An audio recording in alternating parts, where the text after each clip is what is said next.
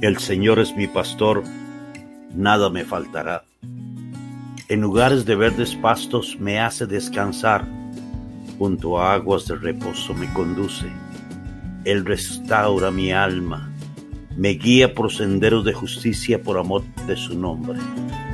Aunque pase por el valle de sombra de muerte, no temeré mal alguno porque tú estás conmigo.